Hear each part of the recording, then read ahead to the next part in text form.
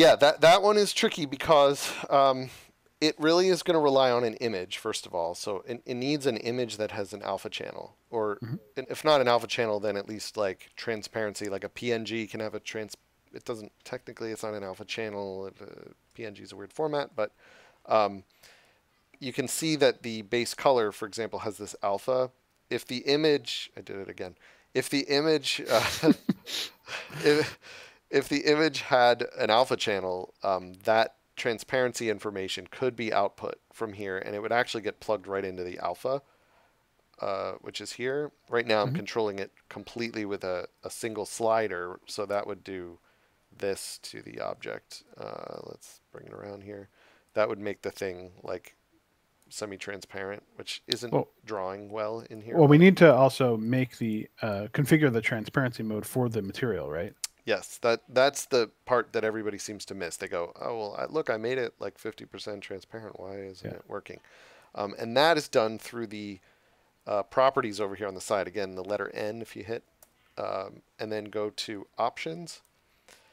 When you're inside a material, here are settings that are really important for you. Number one, backface culling. Did you ever make a scene Oh, yeah, this, you, yeah. you do or don't want to be able to see it from the inside or the outside? That will do that for you if it's culling back faces. Um, and the same goes in hubs. Like if you don't want to see all the other sides of all the faces of things, you can turn that on and it will not draw uh, the back face. Yeah, and so you can you can set it to both uh, front or back side, and and they're kind of you might want to use one or the other, um, just depending on, on what your model looks like. But um, those settings will fully transfer over into into the GLTF and, and into hubs. So like if this uh, top were missing uh, on the object, um, you can see it better now. Now it's culling or not drawing those back faces. Um, but if you do want that, then you would leave that. Um, And you can set it to the opposite too. So like it's just going to render the, the the back faces if you wanted like a to to just see inside the inside the shape. Wait, how would I do that? I don't Is know. that not an option? Oh, I thought that was an option. No. well, I it's an just- option. You could just It's an option in hubs. you could just uh, flip the like in, in yeah, you can just flip the normals, I guess. Um, So that's important. The other one that's really important though is the blend mode, and this is really the key to transparency. So I don't have transparency on this, but I will turn the alpha down right now just so uh, it would like fade the whole thing out. That's not actually going to show or export properly until you set the blend mode to one of these alpha types. Um, there are only two that are supported by GLTF: Alpha Blend and Alpha Clip, uh, sometimes known as Alpha Test. You might see that term somewhere else, but blend is the one that gives you the soft, sort of semi-transparent look. Now, the reason I'm showing this um, first is because that's usually the one that people want. The bad news about it is that this can cause all kinds of problems uh, in terms of rendering. Um, the other one is Alpha Clip, where you specify this clip. yeah, that's that's not really going to work on this. Uh, like, you, you need a gradient of, of values here, so it's not going to it's not yeah, to work th- great this this. won't You'll do anything except turn completely off or completely on. Uh, Yeah, but but but this actually demonstrates pretty well what it's doing. Um, by by setting it to alpha clip, you're setting a, a specific threshold. Um, so it's either going to be completely transparent or completely opaque, and uh, you're setting the the alpha value at which that happens. And so when the uh, you know the alpha value of the, the pixels in the image um, are greater than the the alpha clip value, um, it's not going to get clipped, and when it's below, it, it will. And so you can see here, you set you set it to a specific value, and then if you change that slider, which is effectively kind of making a fully, uh, if you set the slider in the um, the BSDF node, which is kind of effectively making an image that is either that that has a specific alpha value, um, you'll see when it matches the the cutoff threshold, it's gonna it's gonna go completely opaque. Um, yeah. If I if I so- used an actual image though, yeah. If you have if you have some sort of transparent image, that probably let's throw let's throw an show. image on here. Oh man, no, don't put it in between. I didn't want. Uh, let's let's slide it over here a little bit. Oh, you son of a! It's like automatically doing that. Let me let me let me uh, let me reorganize my graph a little bit here. That's better. You Keep your graph tidy. It's important. Um, oh, by the way, uh, just in case, I, I want to give another shout out to that Node Wrangler plugin.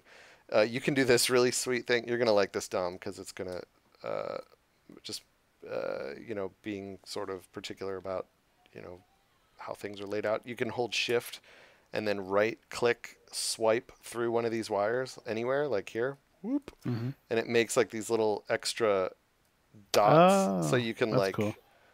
You know, if you you don't if you don't like them- these diagonals, you a You lot can of make people, it look like a circuit board. Like yeah, you, you can do like this kind of action where you go, oh, I want it all like, you know, that's cool.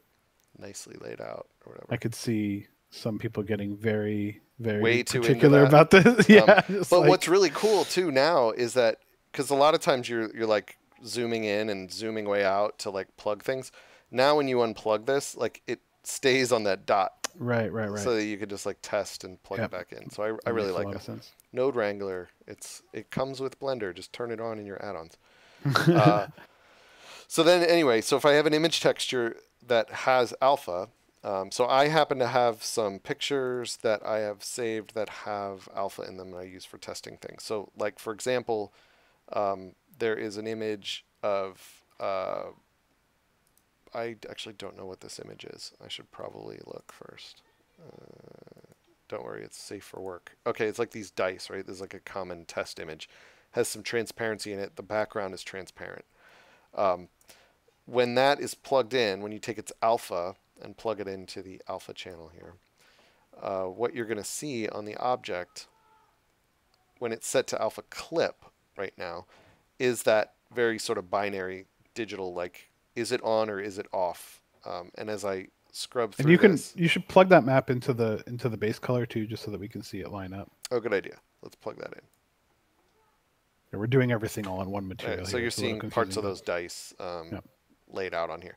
As I as I play with the alpha clip value, it's kind of going. Well, I think that's like a visible pixel, so Right. it's easy to get the background to go away. So that's nice.